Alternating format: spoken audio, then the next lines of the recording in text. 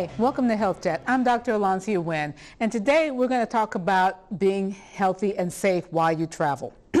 now, most people, when they think about travel, they and they think about medical related to travel, they think about vaccines. We're not going to talk about vaccines today. We're going to talk about the things that you don't think about. We're going to talk about safety. We're going to talk about sexually transmitted infections, air transportation issues, environmental risks, heat, cold, altitude, and then travelers with special medical or health needs. So the first thing we're going to talk about is safety. Now, a lot of times when you are going to an underdeveloped part of the world, just by being a tourist and just by being an American, you are automatically considered wealthy. Even if you don't consider yourself wealthy by, by the standards of the local population, you are. So that automatically makes you a target for theft, robbery, in some parts of the world, kidnapping. So you want to always be cognizant of that fact. You always want to not be um, flashy or conspicuous. So you always want to dress inconspicuously. You don't want to wear the big expensive watches or the big expensive jewelry. You want to leave all that stuff at home because depending on the hotel you're staying in, even leaving it in a hotel room, it may not be safe. So it's always best to just leave it at home. And if you must wear jewelry, um, just have it be very simple and not be flashy or um, eye-catching. You also want to avoid traveling at night, especially in an area that you are unfamiliar with. And if you do have to travel at night, you want to travel in pairs or groups. Um, it's always a good idea to travel in pairs or groups even during the day because you don't want to make yourself um, a prime target for, um, for crime. And when you are out and about, if you're carrying a wallet, and this goes true for men or women, you want to carry that wallet in the front pocket. You don't want to carry it in your back pocket because that makes it easier for you to um, be pickpocketed. And if you're carrying a purse eh, or any type of bag, you want to carry the strap across your shoulder, not on one shoulder. Again, makes it a lot harder for someone to grab your purse and run. And then because you always want to be aware and you always want to be aware of your surroundings, you don't want to be standing in the middle of a marketplace or on a street corner with a map or um, talking not being aware of your surroundings. Mean, meanwhile, someone picks your pocket, grabs your purse, grabs your bag. You always want to be aware of your surroundings because you want to um, make it less likely that you're going to be a target for someone who's looking to rob someone. And if you're any type of in a vehicle, you want to wear a safety belt. Now, granted, in some parts of the world, and depending on the type of transportation, there may not be a safety belt. There, if, especially if you're on public transportation like a bus or something like that, there may not be safety belts. But if there are safety belts, definitely you want to wear them because just like in more industrialized countries, motor vehicle accidents are a prime source of injury, death. So anything you can do to mitigate, mitigate that risk is um, wise, especially if you're going to be in an area where the roads are heavily populated or if they're very chaotic, where there's pedestrians and bicycles and animals and buses and cars and everyone's kind of all um, going to the same spot, much more likely there's going to be an accident. So if you do have a safety belt, you are going to decrease the risk that you'll get injured um, in, in, that situation. Now, as far as sexually transmitted illnesses, now travel is often associated with casual sexual activity. Obviously not always, but a lot of people, when they're on vacation, um, they are a little freer with their sexual activity than they would be at home. So by some studies, between 5 and 50% of short-term travelers report sex with a new partner, and those um, sexual encounters are often unprotected by condoms. Um, another study showed that 30%, actually greater than 30% of European expatriates who are living in sub-Saharan Africa engaged in sex with the indigenous population, with the local population, including commercial sex workers, prostitutes, and the, and the like.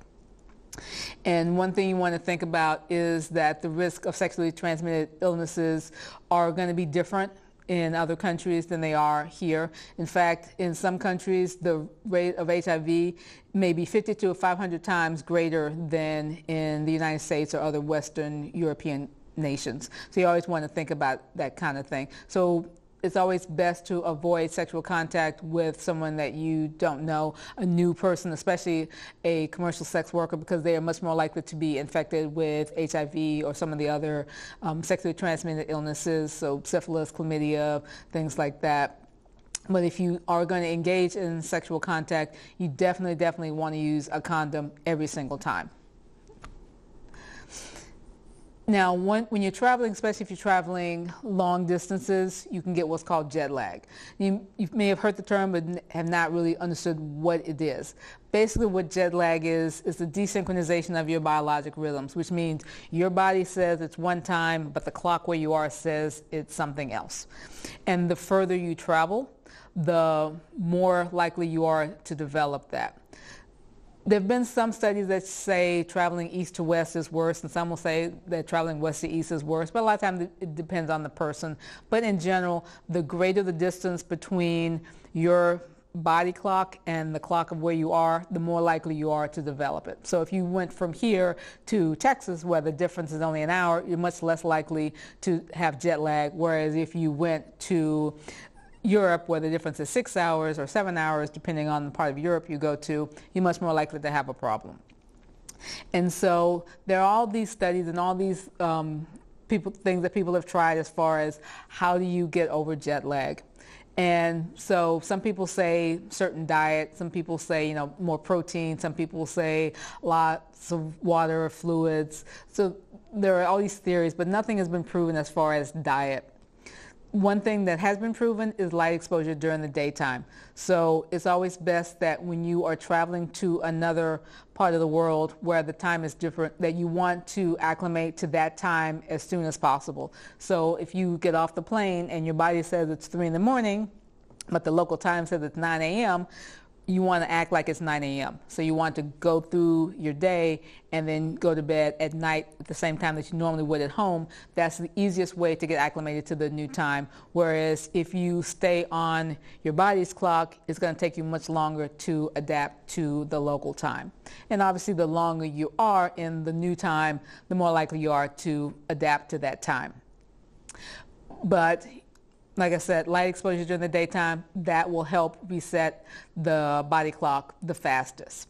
Sometimes people will use sleeping pills, um, especially on long flights, to help them sleep so they are more awake when they get to their destination. Some people will use sleeping pills those first few nights in a um, location to help them sleep so that they can reset their body clock.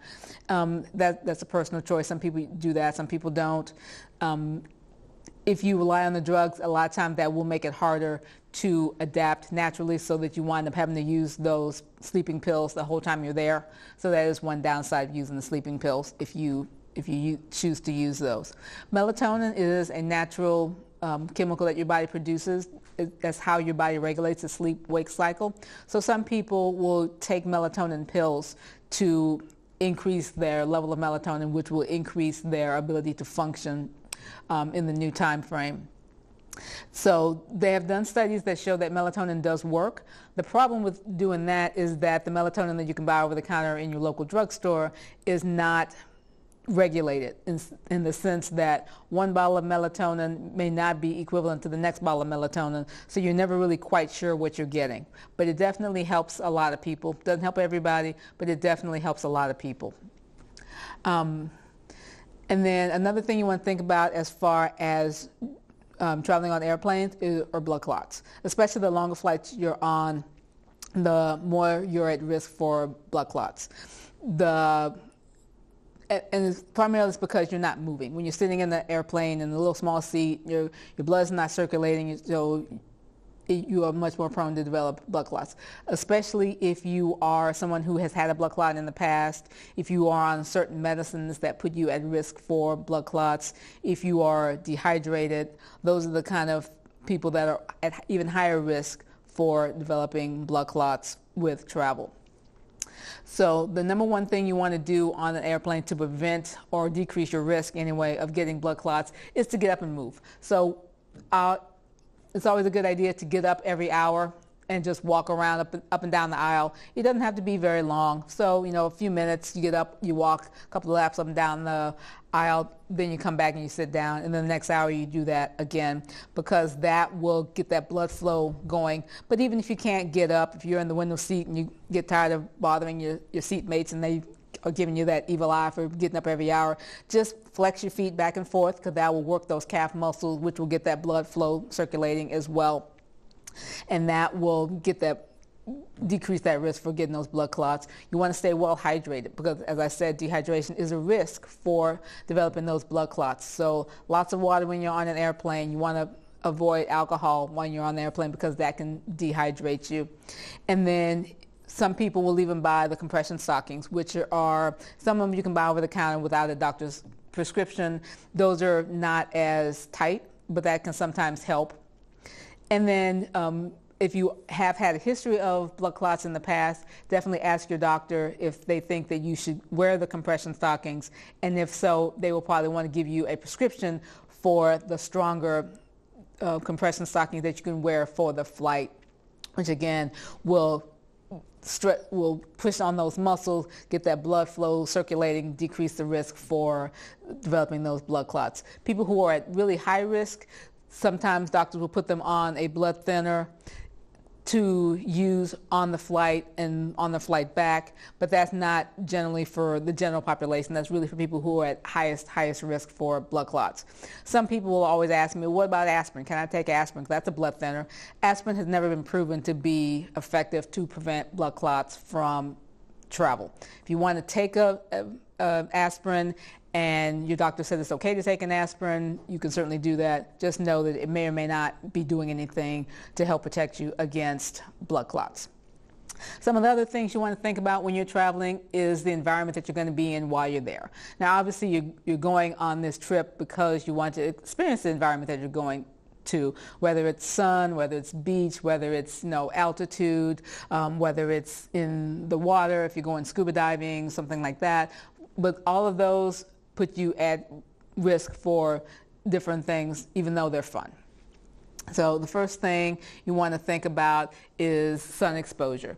So a lot of times when you are going to a beach or even if you're going on a ski trip or something where you feel like you're not going to be exposed to sun, you are, if you're going to be outside, you're going to be exposed to sun. So you want to use a good um, sunscreen even if you're not someone who typically uses sunscreen or needs sunscreen, just because you're going to be outside more, you want to use a good sunscreen. You want at least an SPF 15. What SPF is, is a sun protection factor. And what that number means is how long you can be in the sun without getting burned compared to someone who is not using it. So an SPF 15 means you can be in the sun 15 times longer than someone who is unprotected without getting burned. It is not a linear number, however. So an SPF 30 does not give you twice as much protection as an SPF 15 and a 45 does not give you three times the protection as an SPF 15. It's more of a what we call a J-shaped curve, which means it's kind of a, a slope.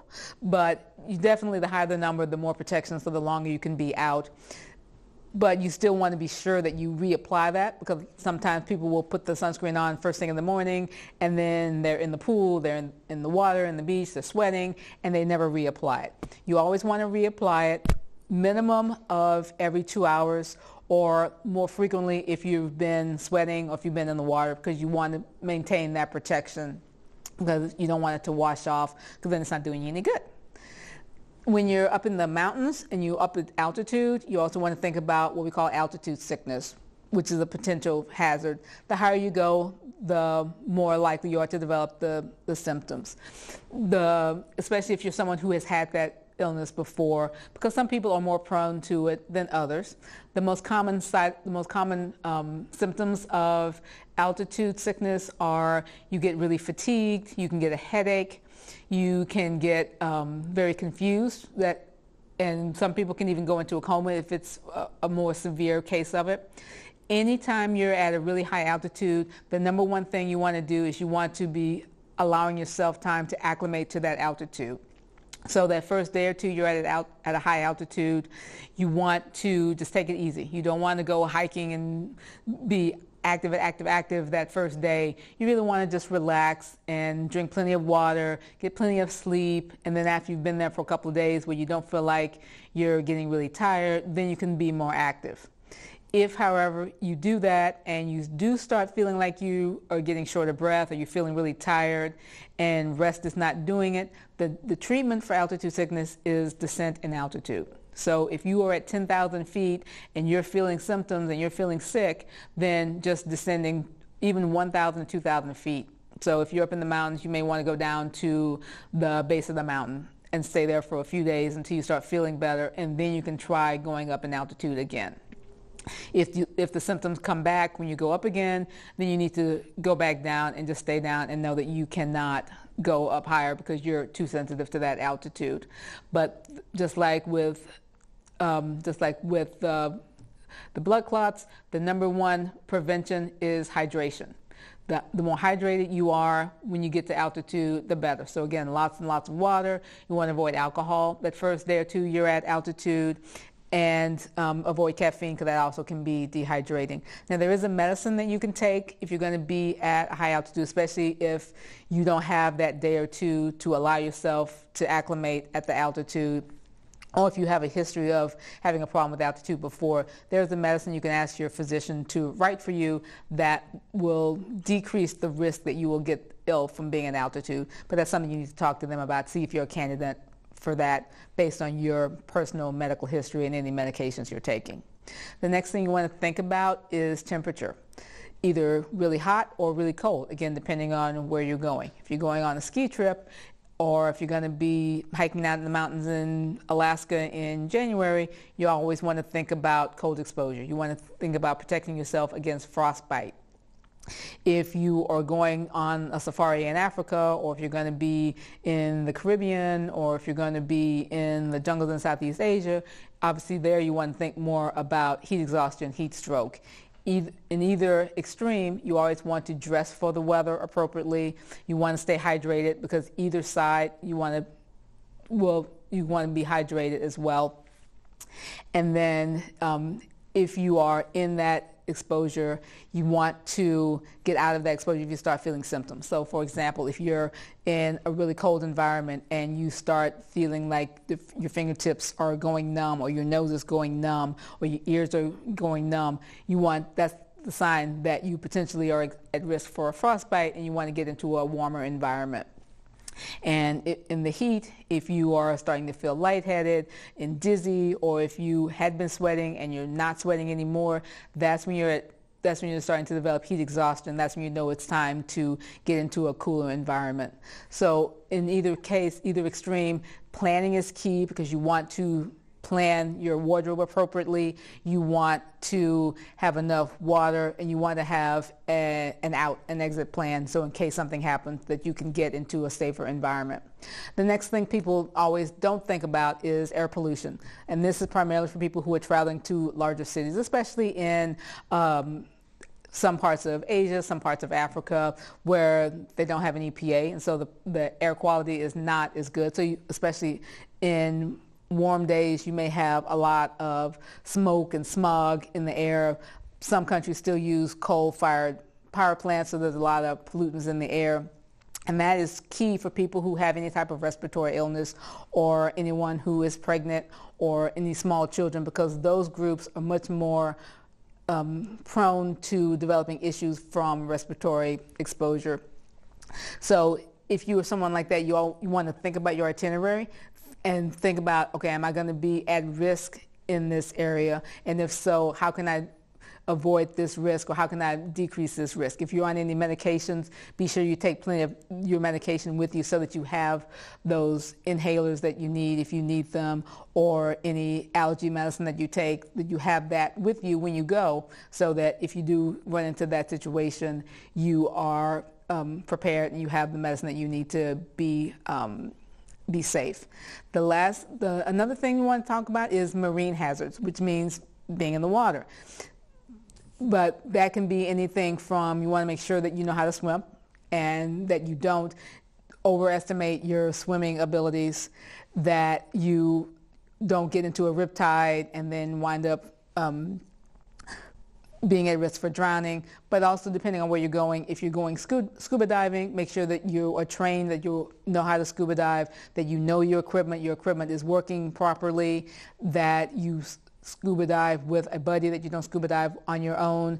And depending on where you're going, being in the water can put you at risk for jellyfish stings or exposure to um, shark bites, which has been in the news recently, or um, stings from other animals or bites from um, other fish or any, any, any exposures because in the water you're not in your natural environment. So you always want to plan ahead plan accordingly think about the things that could be there. It's not just hey let's just have fun go out in the water. You always want to think about the risks that you are going to be at when you're in these environments that you're not familiar with. Because scuba diving or being in the water in the Caribbean is a lot different than being in the water here on, on the East Coast and being in the water in the Pacific is a lot different than being in the, in the water in the Atlantic. So you always want to think about the risk for where you are. And if you're going to be doing any scuba diving or anything like that, always have a local guide or someone that knows the area, knows where the risks are, and always, always, always pay attention to the warnings, any warning flags, any warning signs, because that's your best bet to stay safe when you're out in the water. Some of the groups of people who are at higher risk when they're traveling are people who have any kind of medical problems, any people who have any type of problem with their immune system because that puts you at risk for developing infections when you're overseas. Anybody who has any type of chronic illness because there's always a risk that that chronic illness can get worse when you're overseas, when you're not in your natural environment. Perhaps you're being more active than you typically are. Perhaps you're eating different foods. Also, other people who are at risk, people the extremes of age, either young children or the elderly, because again, their systems are not as they don't rebound as well. So if they're exposed to something that's infectious, they're much more likely to get really sick than someone who's in the middle of their life. Pregnant women also are at risk. Pregnant women, because you're you're, you're, two people essentially. So you're definitely at higher risk for infections. You are at risk for blood clots on airplanes, you're at risk for dehydration, and depending on where you are in your pregnancy, you're also at risk for going into premature labor. So if you're a high-risk pregnancy that your physician has told you, or if you are if you're very early in your pregnancy or, or very late in your pregnancy, you definitely want to talk to your physician before you travel to find out what your risks are. And anybody that is um, anywhere in the pregnancy is always a good idea, even if you feel like you're not at high risk, because you want to talk to your physician about can you get the vaccines that you should get based on where you're going and when you're going. Can you take medicine for prevention of malaria? Can you take an antibiotic if you get an infection while you're overseas. So those are the kind of things you definitely want to talk to your obstetrician about before you go, before you even start planning a trip. It's always a good idea to plan ahead because the physician may say, you're going to an area where there's malaria, you are at very high risk because you're pregnant. You might want to put this trip off until after you deliver the baby. So it's always best to, if you even start thinking about international travel when you're pregnant, before you start making any arrangements at all, talk to your obstetrician because that's your best guide for how you and your baby can be the safest for the trip. And um, anytime you have any type of medical illness or any type of medical issue, you want to consider getting a letter from your physician detailing any medicine you're taking, any medical issues you have, if you need to have any type of accommodations of any kind, have a letter from your physician explaining all that. Anyone who is on any type of medication, you want to be sure you take enough of your medication with you when you go so that you don't run out and you want to take your medication in this individual original packaging. You don't want to have the pill box. You don't want to have your pills just all dumped into a Ziploc bag because depending on where you're going, they may need to see the original label with the doctor's name and the name of the medicine to know that it's an actual medication, not an illegal drug of some kind that you're bringing into their country. And depending on where you're going, you also may want to think about carrying some other things along with you to be um, to be safer when you're traveling. You want to think about getting a first aid kit because that way, if you are injured in any way, you may have bandages or um, all the things you can do to take care of yourself. So if you are in an area where you are not able to go down to the local emergency room because there isn't a local emergency room. You have a way to do the basics to take care of yourself, to stop bleeding, to use some antibiotic ointment or something like that so that you have something to get started on. You might want to think about taking some medicine for a fever or pain along with you as well. That way, if you develop that, you have that as well because there may not be a pharmacy or you may not speak the language and be able to talk to the pharmacist to ask about this medicine that you need. Think about getting a thermometer so that way you can tell if you're getting a fever or not. Think about taking a medicine for, for diarrhea along with you, one of the over-the-counter medicines, because if you get a little bit of diarrhea, a lot of times the over-the-counter medicine will work. If you talk to your physician before you travel, ask them if you should take an antibiotic along with you, and that way you have that with you. So if you need it, you can do that as well. If you are going to an area of the world that has malaria, you want to take an anti-malarial medicine with you as well, and that's something you'd want to talk to your physician before you travel as well.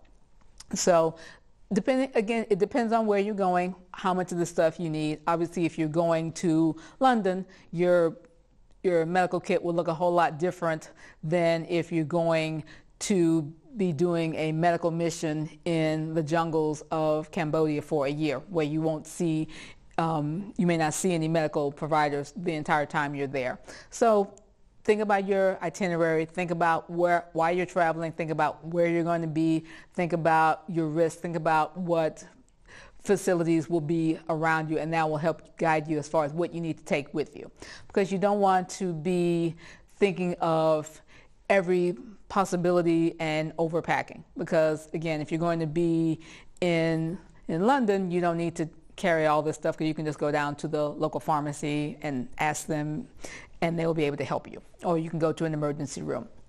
Well, I hope this hasn't deterred you from international travel because international travel is still very fun.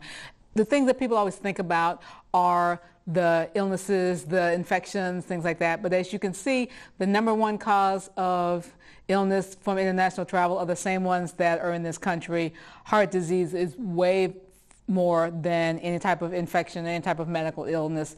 So the important thing is you want to plan ahead, you want to mitigate your risk, you want to decrease your risk as much as possible, but at the end of the day, have a good time, get out there and see the world. This has been Health Chat. I'm Dr. Alancia Wynn. Until next time, have a good day.